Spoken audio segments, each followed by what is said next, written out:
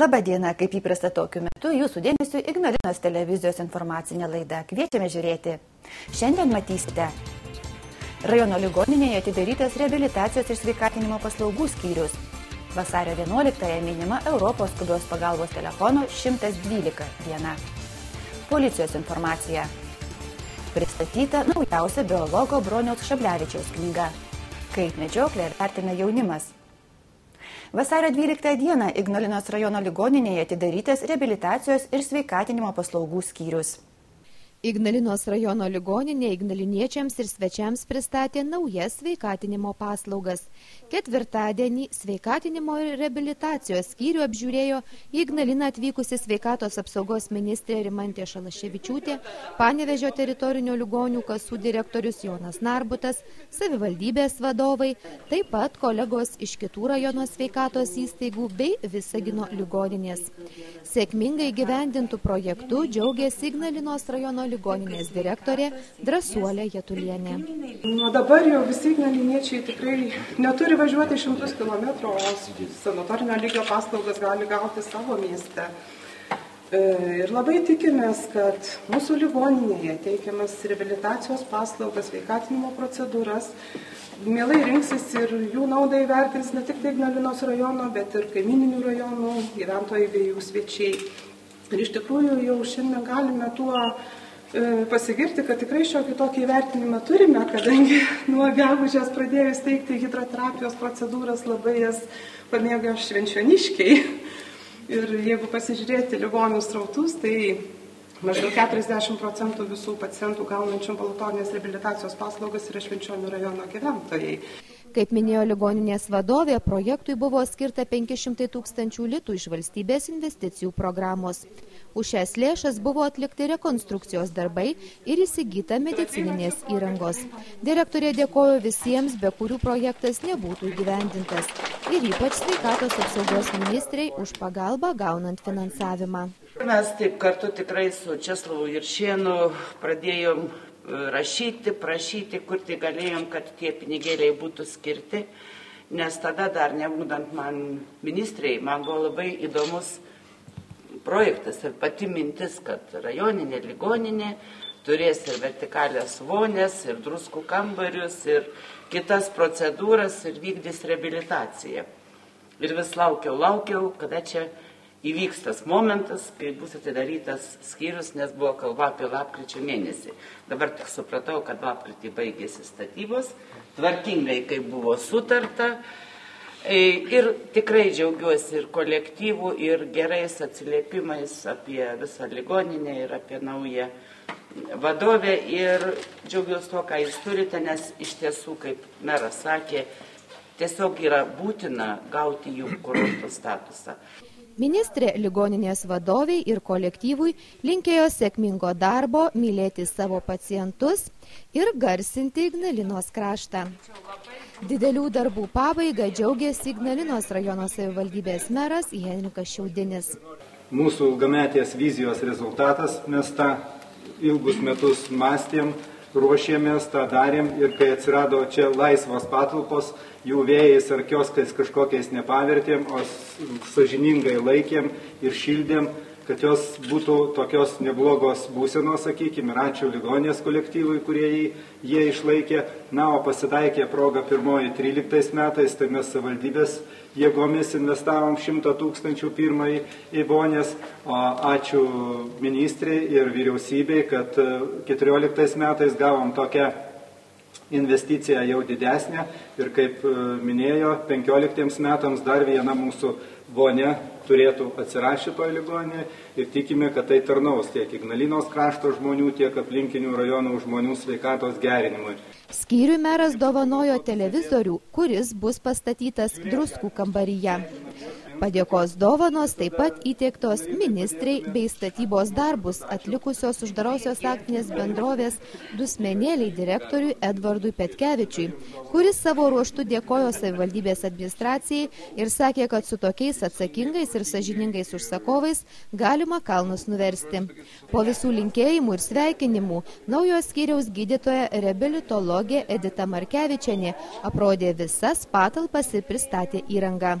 Ignaliniečiams ir miesto svečiams šiame skyriuje bus teikiamos fizioterapijos paslaugos, magneto, mikrobangų, ultragarso terapijos, taip pat gydimas parafinu ir vulkaniniu purvu. Jau anksčiau pristatytose už savivaldybę skirtas lėšas įsigytose masažinėse voniose bus gydomi stuburo sanarių, galūnių kraujotakos sutrikimų turintys pacientai. Tiems, kas dėl sveikatos negali gulėti voniose, bus pasiūlytos kojų masažinės vonelės. Kaip minėta, greitų laikų atsiras vertikalioji masažinė vonia. Skyriuje taip pat taikoma šviesos terapija, masažo paslaugos. Atskiroje patalpoje įrengti sveikatinimui pritaikyti treniruokliai. Na, o pats egzotiškiausias kampelis – druskų kambarys. Čia lyg žiemos pasakoja. Pacientai gali atsipalaiduoti ir atgauti sveikatą. Reikia pasakyti, kad skyrius priims ir visiškai sveikus pacientus, norinčius išbandyti paslaugas relaksacijai. Šios paslaugos bus mokamos. Vasario 11-ąją minima Europos skubios pagalbos telefono 112 diena, tad apsilankėme pas tuos, kurie nelaimės atveju pagalbą skuba pirmieji kad nelaimės ištiktam žmogui laukiančiam greitosios medicinos pagalbos tarnybos, skubios policijos ar ugnegesių pagalbos nereikėtų prisiminti kelių telefono numerių, jau keliarius metus šalyje galioja bendrasis pagalbos numeris 112. Surinkus šį numerį, į gyventojų pagalbos skambučius atsako bendrojo pagalbos centro operatorius. Šio centro veiklos tikslas – teikti pagalbą telefonu iki pagalbos tarnybo atvykimo, priimti ir operatyviai įvertinti pagalbos prašymus, užtikrinti operatyviai valdomų pajėgų išsiuntimą į nelaimės vietą. Pasidomėjome, kaip bendrojo skubios pagalbos numerio įvedimą vertina tie, kurie nutikus nelaimiai į pagalbą skuba pirmieji ir kaip pasikeitė jų darbas, pradėjus veikti numeriui 112. E, jau keliari metai, kada Ignalinos policijos komisariete nėra taip tos vadinamos būdėtojų dalies, kur pareigūnai dirbdami 24 e, valandas e, komisariato patalpose priimdavo gyventojų skambučius, registruodavo informaciją ir toliau perdodavo kolegoms pagal kompetenciją arba patruliuojantiems. Na, O šiuo metu visus gyventojų, rajono gyventojų skambučius e, trumpuoju pagalbos telefonu 112 priima būtent bendro pagalbos centro darbuotojai ir operatyviai perdoda į Utenos apskirties vyriausią policijos komisariatą. Na, pasikeitė tai, kad šiuo metu visos policijos pajėgos apskrities mastu yra valdomos iš vieno, e, vieno centro Tai yra iš Utenos apskrities vyriausio policijos komisariato. Tai pareigūnai mato ne tik tai apskrities policijos pajėgas, bet mato ir visos šalies pajėgas. Tai yra, esant būtinybė, gali pasitelkti netgi iš kitų apskrities policijos komisariatų kolegas. Aš matau tik tai pliusus. Tai yra, visų pirma, kaip ir minėjau, visos e, policijos pajėgos yra valdomos iš vieno centro. E, ten dirba profesionalai pareigūnai, kurie turi tikrai sukaupę didelę patirtį. Tie žmonės, kurie dirbdavo policijos komisariete, e, jie šiuo metu patruliuoja gatvėse, e, rajono keliuose, reaguoja į įvykius, prima tam tikrus procesinius sprendimus, suteikia pagalbą žmonėms. Tai turime daugiau policijos pareigūnų gatvėse, e, didesnį saugumo jausmą žmonėms sukeliam, tai vertinu tikrai pozityviai. Taip pat ir e, turim galimybę operatyviau reaguoti į įvykius. O ar įvedus bendrąjį pagalbos telefoną pasikeitė priešgaisrinės gelbėjimo tarnybos darbas? Taip, pasikeitė ir, sakyčiau, gerą pusę, kadangi anksčiau mes turėjom savo dispečerinės, turėjom savo pareigūną, kuris priiminėdavo skambučius, kuris siūsdavo pajėgas, galvoja, ką siūsti. Tai dabar už tai padaro viską, tai padaro bendrasis pagalbos centras.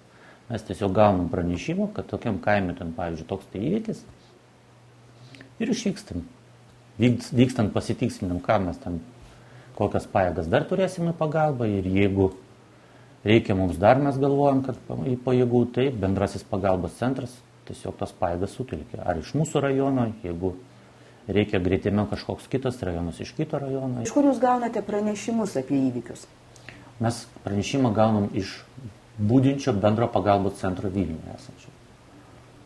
Ir tada jau reaguojat ir Taip, jau daro tai, ką... Jie mums praneša e, adresą, koks yra incidentas, ar ten gaisras, ar gelbėjimo darbai, ar, ar, ar kažkokios dar ten, žodžiu, darbai. Tai ir mes tiesiog vykstam į tą vietą. Mes nešnekam betarpiškai su žmonėmis, mes šnekam tik tai su pareigūnu. Jeigu mums reikėtų pasitikslinti kažkokią informaciją, tai bendrasis pagalbos centras skambina skambinančiam žmogui ir gali pasitikslinti ir tada praneša jau mums. Ar tas bendrasis pagalbos telefonas 112, jisai padeda greičiau suteikti pagalbą? E, kaip pasakyti, nu, taip, žmogui nereikia galvoti, vat, jeigu iš tikrųjų yra vienas numeris ir jisai vienu numeriu pasiskambins, gaus, jeigu reikia ten dėl medicininius paslaugų, kokių ten greitosios pagalbos, policijos, jeigu kažkoks įvykis yra. Anksčiaugi, jeigu mes gaudom kažkokį pranešimą, tai mūsų dispečeris turėjo skambinti ir policijai, turėjo, jeigu reikia skambinti ir greituoju, dabar yra visas, kas vienose rankose iš esmės ir, gauna pilnai tą visą paslaugą. Kviečiant ugnegesių ar policijos pagalbą, surinkus senąjį pagalbos telefono numerį, skambučiai siunčiami į numerį 112. Surinkus senąjį greitosios medicinos pagalbos telefono numerį, į pagalbos skambučius kol kas atsako greitosios medicinos pagalbos dispečeris. Ne vienareikšmiškai bendrąjį pagalbos numerį vertina tie, kam prireikia skubios medikų pagalbos. Yra įvairiausių minčių.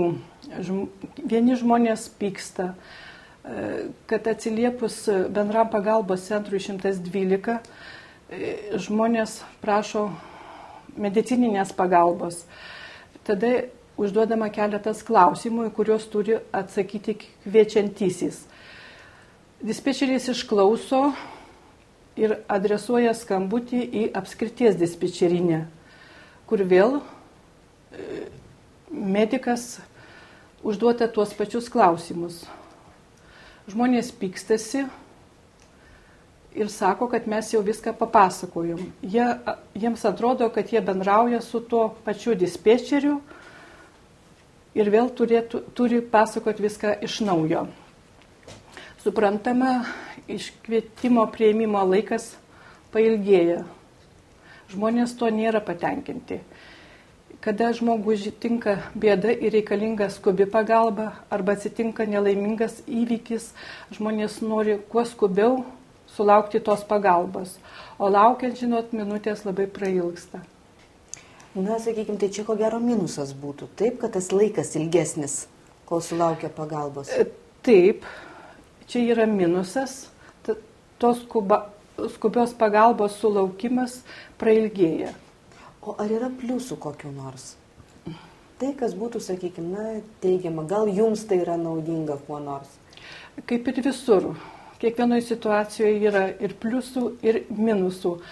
Pliusas yra tas, galbūt, kada atsiliepia kvalifikuoti specialistai, kurie iškvietimus priima pagal tam tikrus protokolus ir taisyklės ir užduodant keletą mm, trumpučių klausimų, jie priima sprendimą, ar tai iš tiesų reikalingas kvietimas, ar yra kažkoks tai pokštas, ar pasitar, pasityčiojimas, o galbūt tik patariamojo pobūdžio iškvietimas.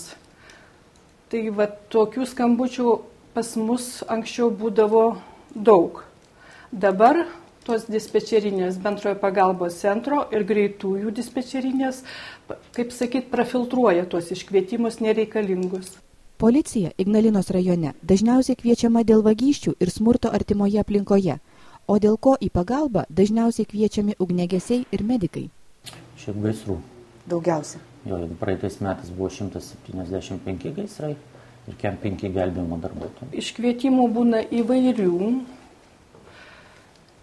Kviečiasi žmonės ne tik su lėtiniais susirgymais, būna tokių umių dalykų. Eina žmogus, pavyzdžiui, pasidarė blogo, nugriuvo, infarktai, insultai, jų nėra daug, bet čia, sakyčiau, jau patys rimčiausi iškvietimai. Rimti atvejai būna, kada kviečiasi į nelaimingus atsitikimus ir yra sužeistų.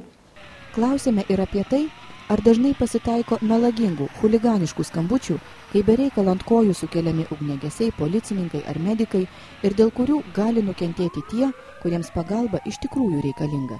Ignalinai kažkaip tai nelabai su melagingas, niekas taip nejuokauja, bet būna nepagristi iškvietimai. Tai kaip pavyzdžiui, žmogus degina kažkokias atliekas gamtos už pastato, dūmai rūksta, pravažiuojant mašiną mato, paskambina, atvažiuoja žmogus tiesiog į krūvą sudeda ten, ten ražienas kokias ten ar, ar, ar, ar, ar žolės sausai ir lapus ten ir tiesiog stovi degina, bet žmonės nemato. Tai Kaimynai iškviečia tada jau? Nu, pravažiuojančios mašinas dažnai važiuoja, mato dūmai stiprus už pastato, gal pastatas.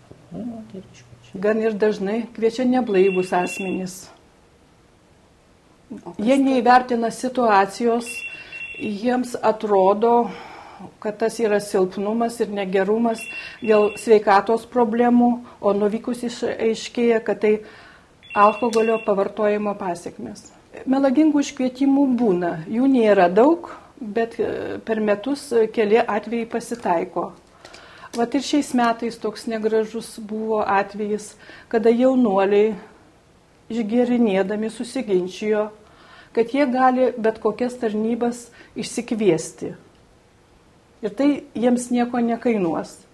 Ir jie sugalvojo, reiškia, imituoti tą susirgymą, tą, kaip jie tada aiškino, traumą ir, ir, ir, ir, ir rimtas problemas. Ir jiems tai pavyko apgauti ne tik greitąją, jie apgavo ir prieimimo skiriaus medikus. Netgi. Ir, ir taip, jiems Tam jaunuoliui buvo atlikti visi tyrimai, ištirtas, o paskui pasirodo, kad reiškia pajokavo, susiginčijo su draugais ir įrodė, kad vis tik tai jisai gali. Na ir tai yra nebaudžiama, va tokie pajokavimai? Taip, tokie dalykai yra baudžiami. Tuo turėtų užsiimti policija ir prokuratūra. Šis, šis atvejis nebus taip paliktas, pradėtas tyrimas.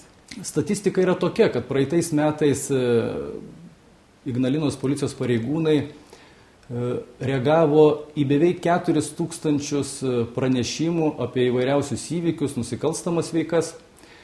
Na, labai nedidelė dalis, tai yra 350 atvejų, kada informacija nepasitvirtino apie įvykius, tai atvykus pareigūnams įvykio vietas na, situacijos e, aplinkybės buvo, būdavo kardinaliai pasikeitusios. Taip pat e, apie 300, 315 e, atvejų pradėjome iki teisminius tyrimus pagal šios iškvietimus. Na ir 14 atvejų turime, kada asmenys iškvietė policijos pajėgas melagingai. Tai norėdami pasižiūrėti, ar tikrai policija sugeba sureaguoti, ar tinkamai reaguoja, ar tai e, padauginus alkoholio. E, kai kalbėjom su greitosios medicinos pagalbos e, virslaugytoja, jinai sakė, kad jie taip pat sulaukė melagingų iškvietimų. Kaip tai yra baudžiama? Ar tai yra kaip nors reaguojama, ar tiesiog, na, taip ir lieka? Na, visi asmenys yra nubausti administracinė tvarka ir e, jiems yra skiriamos paprastai baudos, e, piniginės baudos ir stengiamės visais atvejais išsieškoti patirtas išlaidas. Taigi, naudotis bendrosios pagalbos numeriu reikia atsakingai. Beje, Ignalinos rajono policijos komisariato viršininkas užsiminė ir apie vieną naujovę. Policijos generalinis komisaras e, ne per seniausiai pasirašė susitarimą su valstybės sienos apsaugos tarnybos vadu įpareigojant tam tikras tarnybas e, e, surasti galimybės būtent pajėgų valdymo centruose, kad tie pareigūnai matytų ne tik tai dirbančias policijos pajėgas, bet ir pasieniečių pajėgas. Tai aš manau, turės tik tai dar, dar daugiau reikšmės tos, reaguojant į gyventojų pranešimus apie įvykius, apie nusikalstamas veikas ir tai turės tik tai operatyvumo. 112 yra nemokamas Europos pagalbos numeris, kuriuo iš bet kurios ES šalies galima skambinti tiek fiksuoto ryšio, tiek mobilėlių telefonų, netgi be simkortelės.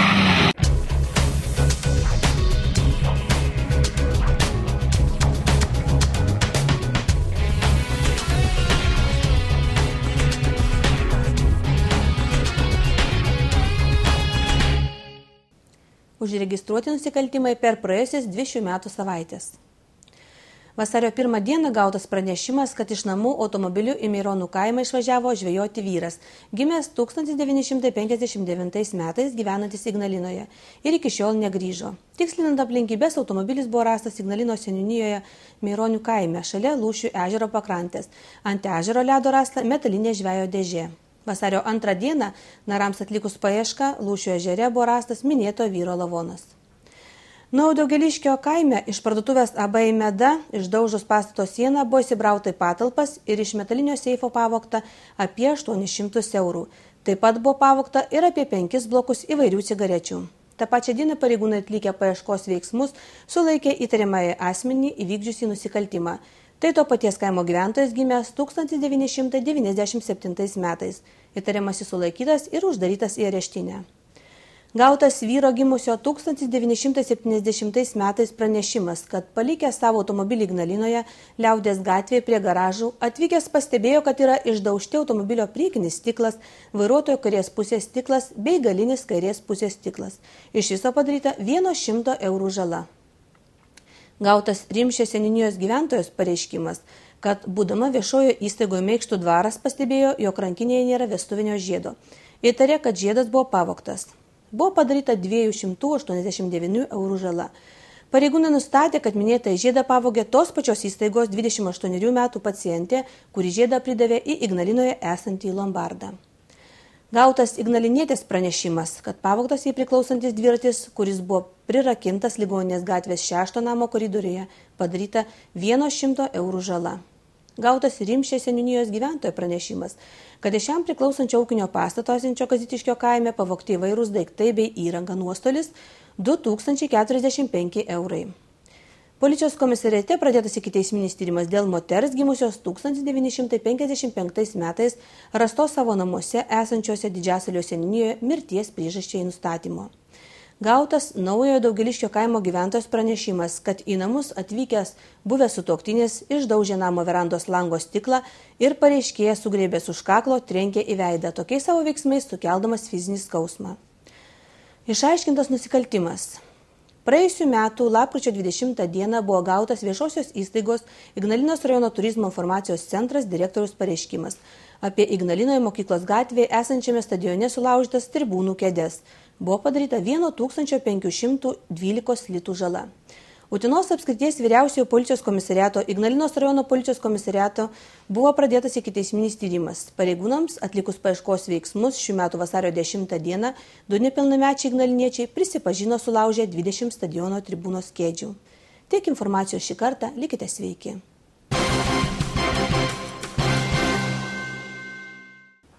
Praėjusį ketvirtadienį Ignalinos savivaldybės viešojoje bibliotekoje įvyko susitikimas su biologu ilgamečiu aukštaitijos nacionalinio parko darbuotoju Broniumi Šablevičiumi, kuris susirinkusiems pristatė savo naujausią knygą. Lietuvos paukščiai aukštaitijos nacionalinio parko gamtoje. Ką tik iš leidyklos jos autoriaus Bronio Šablevičiaus parsivežta knyga. Ji iliustruota puikios kokybės Lietuvos laukinės gamtos fotografų klubo narių, taip pat ir paties autoriaus nuotraukomis. Anot Bronio Šablevičiaus, ši knyga pirmasis leidinys apie Lietuvos paukščius aukštaitijos nacionalinėme parke. Rašydamas tekstą stengiausi, kad būtų ką paskaityti ir eiliniam žmogui, kuris kuris specialiai paukščiais nesidomi, žinau, bet mėgsta būti gamtoje, uogauti, grybauti, miške būti ir taip toliau, tai e, tas žmogus, sakykime, eilinis žmogus, reiškia, irgi, kad galėtų, nu, nors kiek su įdomumu skaityti šitą tekstą. O šiaip tai čia labai daug skaičių, labai daug datų. O duomenys surinkti buvo e, naktimis dienomis, aušros valandomis, tam temstant ir visą kitą. Ir ypač ypač vertinga ir ypač įdomu, tai yra, tai yra būtent tom valandom, kada aukšta, kada temsta, kada naktį e, atsiveria, reiškia, tas pasaulis, kurio nematysi dieną. Tai garsų pasaulis, nes naktį nelabai ką įžiūrėsi, bet už tai labai labai daug ką girdėsi. Į knygą sudėta tik nedidelė dalis per 36 metus užfiksuotų stebėjimų ir duomenų apie Aukštaitijos nacionalinėme parke apsilankančių ir gyvenančių Lietuvos paukščių įvairovę. Už knygos ribų palikti apie 80 procentų surinktų duomenų, pasakojo biologas. Sudėjus į knygą visą, kas buvo surinkta, leidinys būtų buvęs didesnės apimties ir kainuotų brangiai. Todėl pasirinktas variantas, kurį dabar turime, o likusi duomenų dalis liks archyve, teigia autorius. Aš atėjau, pavyzdžiui, nacionalinį parką dirbti, tai ten, reiškia, viską pradėjau nuo balto popieriaus lapo. E, nieko nebuvo. O dabar kas po manęs ateis, va, tai ten ras va tokio storio, reiškia, taip, e, lapų, e, pri, primargintų, prirašyta vietos, datos ir, ir, kas, ir kas buvo.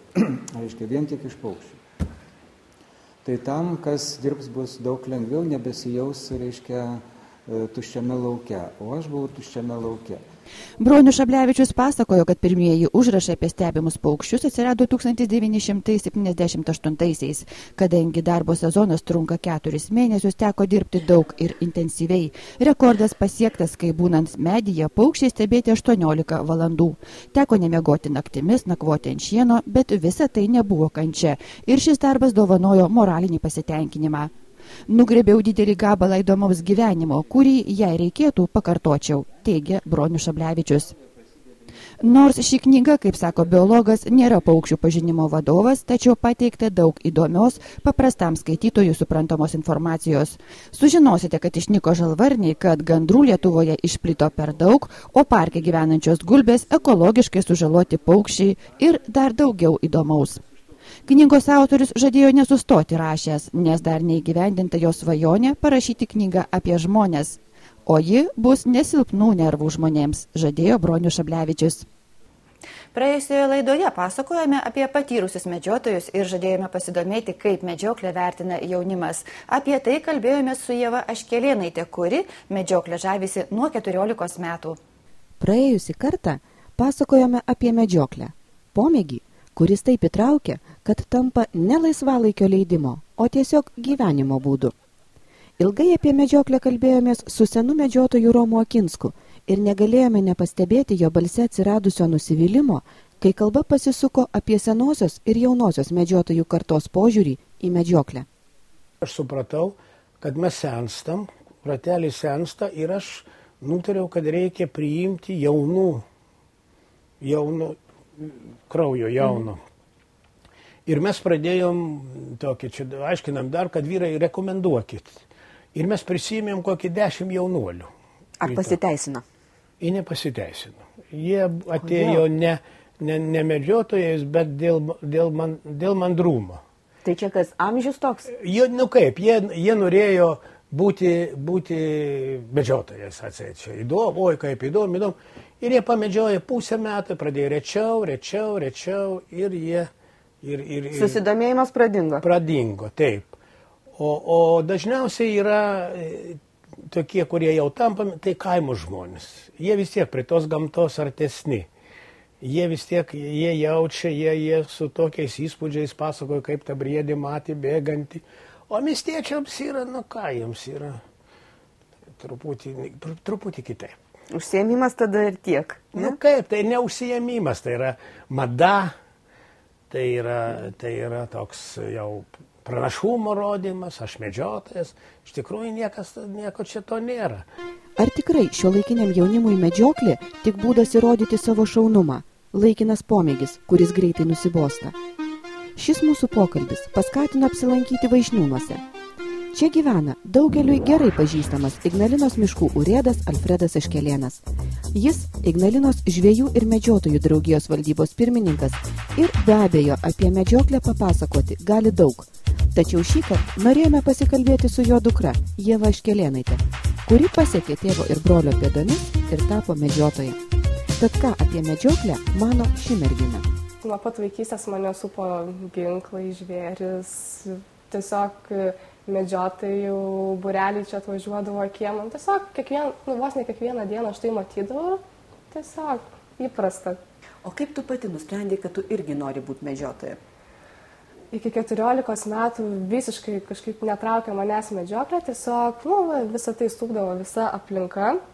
Nuo 14 metų kažkaip vieną kartą pazyzdžiau tėčius, sakau, aš noriu pabandyti nuvažiuoti pamedžioti. Nu, tėtis ką galvoja, nuvažiuos, pavargs vaikas, variminė medžioklė, nuvažiuos, pavargs, pasėdės mašinoje, nu, nebenorės.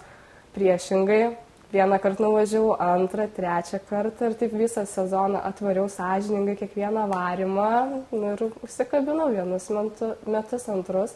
Ir tai po keturių metų varimo sąžiningo kiekvieną šeštadienį ir įsilaikiau. Tai kas tave labiausiai užkabino? Vis dėlto juk tai nėra toks lengvas pasivaikščiojimas, tas buvimas varovu, taip? E, labiausiai gal užkabino, kad vis tiek tave supa bendraminčiai tai visi medžiotojai, tai taip pat, nu, užkabina tas pats, kad gamtos pažinimas, pamatai kiekvieną dieną tuos gyvūnus, nu, tave supanti gamta vis tiek yra gerinti kažkuo ypatinga visada. Tai tas vad gal būtent. Na, bet juk, sakykime, juk galėtum pabūti gamto ir šiaip. Kodėl vis, tiek, tad, kodėl vis tiek tos medžioklės reikėjo? Pats procesas. Tiesiog uh, kiekvienam medžiotojui, manau, yra pats įdomiausias dalykas pats procesas. Tai reiškia, važiuoji šeri gyvūnus, važiuoji jais rūpinėsi, važiuoji į šeriklas, žiūri, ar jų būtent. Tas, tiesiog visas tas procesas susideda į vieną ir tas labiausiai traukia. Klausydamas Jėvos, negali suabejoti tuo, jog medžioklė jį iš ties susižavėjusi. Ir tai toli gražu ne mada ar noras įrodyti savo šaunumą. Tik įdomu, kaip į dukros norą tapti medžiotoje reagavo mama. Buvo gal šiek tiek nustebusi, bet reagavo teigiamai, iš dalies labai džiaugiasi, nes vien dėl to, kad medžioklės vyksta dažniausiai šeštadieniais variminės ir kad iš namų išvažiuoja visi, tai brolis, tėtis, aš ir šuo ir mama lieka viena, sako, o, aš galiu atsipalaiduoti, va, viena pabūti. Mama ilsis tada, taip. Taip, jau polisis savotiškas. o tėtis kaip reagavo? Puikiai. Ką reiškia pats, puikiai? Pats tiesiog paskatino, nieko prieš irgi neturėjo, tiesiog nori pirmin, eik daryk, šaunuolė. Žodžiu, tik palaikymas tik buvo. Palaikymas. Na, sakykime, nebandė mama, na, gal bent, bent šiek tiek atkalbėti, na, gal vis tiek, gal, na, mergaitė, na, gal gėlytės, lėlytės ir, ir kažkas kitka.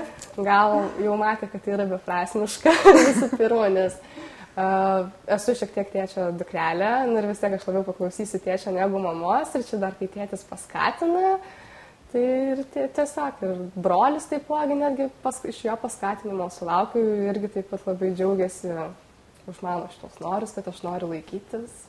Na, vis tiek medžioklė vyriškas užsiemimas daugiau. Taip. Kaip reagavo ten kiti medžiotojų burelio nariai ten? Ta, Dar ta kom... geriau.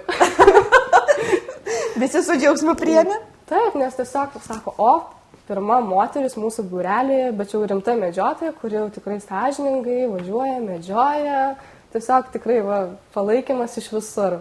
Visi džiaugiasi. O daugiau moterų, sakai, pirma moteris, vadinasi, daugiau nėra moterų šitam burelį. Mūsų, kuriame, kuriam aš priklausau burelėje buvo, bet jinai nemedžiojo viena. Tai aš jau mane kaip skaitė jau kaip rimtesnė, kuri jau su šautuvu važiuoja, šaudo gerai. Na ir teko šaudyti jau? Teko. Ar nebaisu, ar negaila, ar ranka nesudreba vis tiek? Na, gal labiau sudreba po šūvio, nes kai visas adrenalinas sukyla, jau, jau ir tada ir rankos dreba ir bent jau man, jau, jau gal kas labiau patyrė, tai gal net tiek, bet man kaip jaunai medžiotojai, tai po šūvio labiausiai dreba visos rankos ir viskas jau. O gaila nebūna? Gaila, nebent stirnos. O šiaip šernų ne. Bet bet šauti tenka ir stirnas. E, mūsų būrelis yra susitaręs nešaudyti stirnų, nes jų populiacija pakankamai yra maža ir mes, nu, kaip jas ir saugom. Kad sakom, nu, va, gal, kai jų padaugės ateityje, galbūt, bet šiaip tai nežinau net kada jau ir šaudėm jas saugom. Na, o sakykime, medžioklė vis tiek dar nuturi tą, tą savo tokią, na, nelabai malonę gal pusę, kai ir kailio lupimas, taip, ir ten ko gero ir tos, na, skerdienos tvarkymas. Tenka tai daryti? Uh, tenka, bet man asmeniškai tai tenka tik tai, pavyzdžiui, lūpti. Aš pati visada nušaunu, kad ir kažkas kitas, kad ir tėtis, skauduokit man palup, nes nu, man įdomu, man, aš noriu pati viską padaryti ir panašiai, bet pavyzdžiui, jau kai sutvarkom, nulupam kailius, viską jau lieka tik mėsa, tai jau visą tai jau perdodam mamai. Na, o šiaip, sakykime, na vis tiek tai ko gero darbai nėra iš maloniųjų. Ar tai neatgraso nuo medžioklės? Nekiek. Nekiek, nes tai yra taip pat viena, vienas iš medžioklės procesų ir tai neatsiejama dalis. Atrodo, kad nuo medžioklės jėvos negalėtų atgrasyti niekas. Nei darbai, kurie turbūt neįveikiami pasirodytų ne tik merginoms, bet ir daugeliu vaikinų, nei neigiamas aplinkinių požiūris, su kuriuo šiai jaunai medžiotojai jau teko susidurti. Kiek žmonių, tiek ir skirtingų nuomonių yra, bet tačiau gal tokie žmonės kartais neįsigilina taip pat į žvėrių ir daromą žalą, kaip pavyzdžiui, elniniai gyvūnai jaunolinams, kokią žalą padaro bebrai, nu, tikrai nėra, kad jie vien ger, geri ten nieko nedaro, kad ir tos pačios lapės, kad ir kokius jauniklius jauna. Tai nu, čia tiesiog yra nuomonės, kurių negali nei paneigti, nei vėl ką. Ir sakau, kiek žmonių, tiek nuomonių. O tau tenka susidurti su tokiu požiūriu. Na, sakykime, pasakai, pasakai kokiam bendramžiam, na, na, naujiem pažįstamiem, kuo tu užsimi. Kaip reaguoja? Tiesiog, o, žudikė. Iš karto, nu toks požiūris, nu bet, nu ką pasakysiu, nu, nes jau tai yra beprasmiška ginčytis, nes, vien, nu sakau, kaip vieni į tai nesigilina, tiesiog, va, žudo gyvūnus, viskas, o į gyvūnų daromą žalą jie visiškai nekreipia dėmesio ir jiems tai yra neįdomu. Jau, jiems rūpi tik jų teigiama pusė, ta gražioji. Vis dėlto norėjome iš pačios Jėvos lūpų išgirsti, kuo ją taip žavi medžioklė. Medžioklė. Hmm. Okay. Tai savomis tradicijomis, kaip ir minėjau, kad susirenka visi bendraminčiai. E, medžioklė tai nėra vien žudimas, tai yra savotiškas populacijos reguliavimas. Tikras medžiotojas rūpinsis gyvūnais, tai reiškia, nueis į mišką, sunkia žiemą nuveš papildomai pašarų, gyvūnus pamaitins, nuvažiuos į mišką, e, kilpas brakonierius statomas, surinks, sudrausmins brakonierius. Ir tiesiog medžioklė tai nu, yra gamtos savotiškas saugojimo būdas, vad gal kas ir patraukia ir žavi mane joje. O ar teko tau susidurti, sakykime, na, su brakonieriais, su, su kilpom? Taip, teko. Ne, važiavom ne kartą su vienu pažįstamu specialiai į miškus nurinkinėti kilpas, nes Ypač variminių medžioklių metu šūnis dažnai tas kilpas pakliūna, tada medžiotojai ieško šūnų, tikrai nemalonu, arba tiesiog varimo metu. Sužalot, ko gero, gali gyvūnai. Gali sužalot ir jisai nusimarina, miršta. Nu, tikrai mūsų rajone tų brakonierių yra tikrai gausu ir tų kilpų dar daugiau. Ir tikrai nemalonu, kai nepamatai gyvūną kilpoje ir jis dar nebegyvas. Nu, tiesiog tikrai neigiamos emocijos. Na ir kaipgi medžiotojas nepaklausė apie trofėjus? Jo labiau, kad įžengęs pro šių namų duris net nesuabejosi, kad čia gyvena medžiotojai. Trofėjai puošia kiekvieną namų kampelį, o didžioji ne vienerius metus kauptos kolekcijos dalis įkurdinta antrajame aukšte. Trofėjais pasigirti kol kas negaliu, nebent tik, kad esu nušavus tris šernus, nu, bet man viskas prieš akį, tai tikiuosi pavyks. O daugiau. turi kokią nors na, svajonių trofėjų?